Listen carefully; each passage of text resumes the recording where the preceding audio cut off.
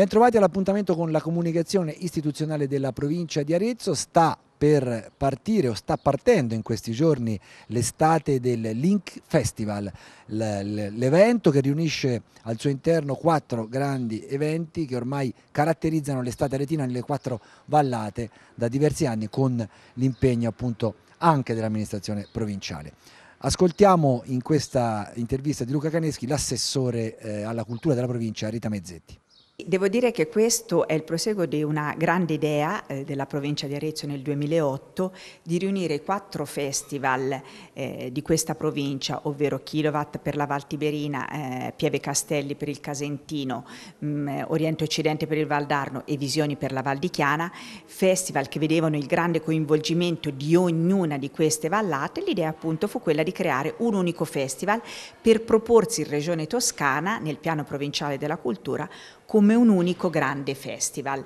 che racchiudeva appunto in sé, in sé tutto. Eh, questa idea fu vincente all'epoca perché comunque risultò questo essere il festival, proprio direi con l'articolo determinativo e con la F maiuscolo, di questa provincia e quindi ogni anno ha ricevuto una parte di, di finanziamenti. Eh, da allora non ci siamo fermati perché non bisogna dar sempre mai niente per scontato e anche perché la Regione ogni anno rivaluta il progetto progetto e può applicare a seconda, quindi ritenere che non sia più valido e quindi applicare delle penalità, si intende sempre in termini finanziari, oppure confermare il finanziamento o dare delle premialità. Quest'anno mi sentivo una responsabilità addosso più grande perché dal prossimo anno sparerà il piano provinciale della cultura e quindi sarà la Regione Toscana che direttamente seguirà tutti gli aspetti culturali di ogni singola provincia e quindi il, eh, anche i festival dovranno dire, correre ognuno per conto proprio. Quindi per me era importante lasciare un festival grande che non potesse rischiare di perdere il finanziamento. Quindi abbiamo lavorato con i direttori e abbiamo arricchito l'offerta anche con un festival collaterale e tale risultato valido come provincia, come festival provinciale che ha avuto addirittura una premialità. Quattro festival, dicevamo, con eh, altrettanti direttori artistici e con altrettanti programmi eh, ricchi di interesse. Luca Caneschi ha sentito anche loro, ascoltiamoli. Oriente Occidente che quest'anno dedica la sua attenzione alla crisi e più all'Occidente, no Giampiero Bigazzi? Sì, eh, noi di solito appunto cerchiamo sempre di scovare un filo conduttore nel, nelle varie proposte ehm, musicali e quest'anno sì, ci sembrava doveroso, l'anno scorso si, dedicò alla resistenza, quest'anno siamo proprio nel, nel, centro della guerra, per cui era importante. E poi la riflessione era anche quella insomma, di, di, superare probabilmente, di trovare dei, dei modi di uscita eh, a dei meccanismi che dominano l'Occidente. Il pretesto è nato anche col, per il centenario di Woody Guthrie eh, grande mh, mm, poeta, folk, folk, singer americano che visse proprio la, la, crisi del 29, è il padre un po' della canzone di protesta, la canzone d'autore.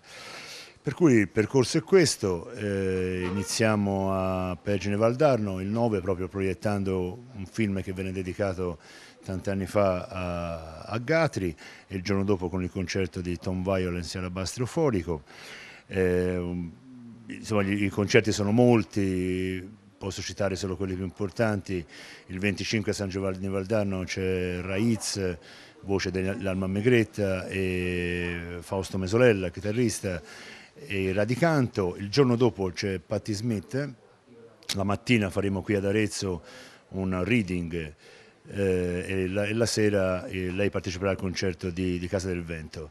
E la conclusione è a Terranova Bracciolini in agosto con Gang e Beppe Voltarelli.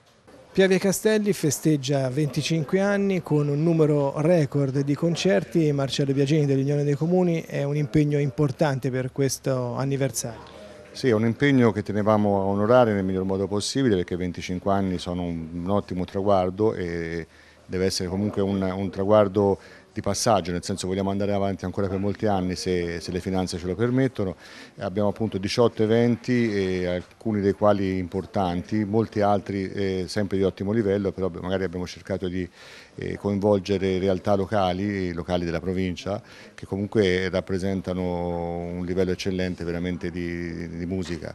e appunto portandoli poi nella, nelle location naturali che abbiamo noi in Casentino, quindi Castelli, Pievi e tutto il resto, credo che ne venga fuori un festival veramente appetibile eh, sotto tutti i punti di vista. Quest'anno ci tengo a precisare, abbiamo anche eh, cercato di coinvolgere e, e di esaltare la, il millenario di Camaldoli, perché comunque Camaldoli per noi è una è un elemento importante del nostro territorio, della nostra cultura, nos del nostro modo di essere casentinesi e l'abbiamo fatta appunto con degli effetti collaterali, con dei concerti collaterali che, che dovrebbero essere di, di, di, estrema validità anche questi soprattutto legati appunto alla vita del, del bosco e alla natura. Con Michele Corneli parliamo invece dei 10 anni di Kilowatt, un traguardo importante che celebrate nel migliore dei modi in una San Sepolcro che tra l'altro celebra già un suo importante anniversario. Esatto, questa singolare coincidenza, 10 anni di Kilowatt con i mille anni della fondazione della città di San Sepolcro. Cerchiamo, speriamo di festeggiarlo nel migliore dei modi possibili, cuore pulsante del festival, eh, il cui motto quest'anno è il pensiero che conta ed è un pacco regalo, la nostra immagine con tutte le implicazioni e gli stimoli che, che, questo può significare. Dicevo, il cuore pulsante è sempre la, la, la parte teatrale, la sezione dei visionari, sono arrivati tantissimi DVD quest'anno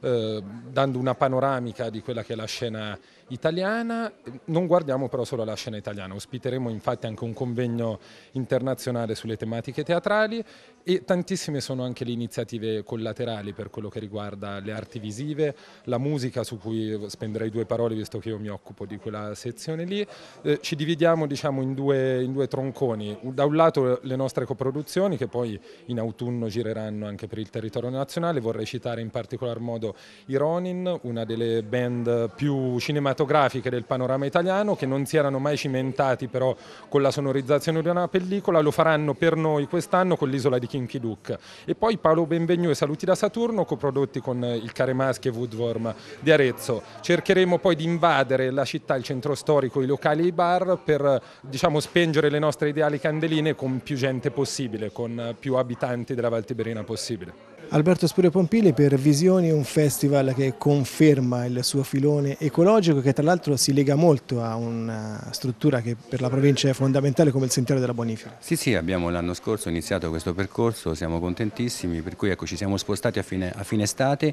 le nostre consuete tre settimane inizieranno a fine agosto, arriveranno fino a metà settembre con il, il percorso della seconda parte del Sentiero della Bonifica,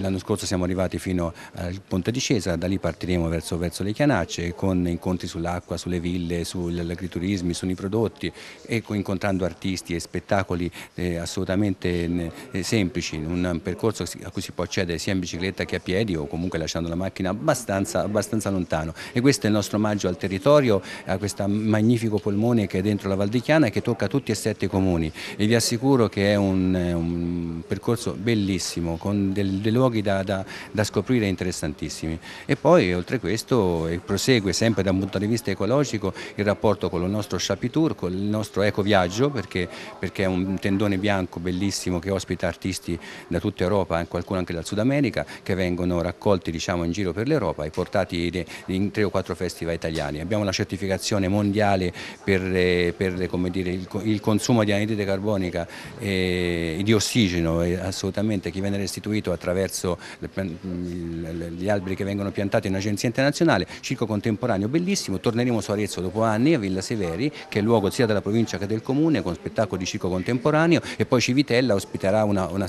importantissima parte sempre di teatro di, di, di, di strada quattro ricchi cartelloni che ci porteranno da luglio fino a settembre eh, con grande possibilità di scelta. Sta agli aretini adesso eh, decidere quello che preferiscono.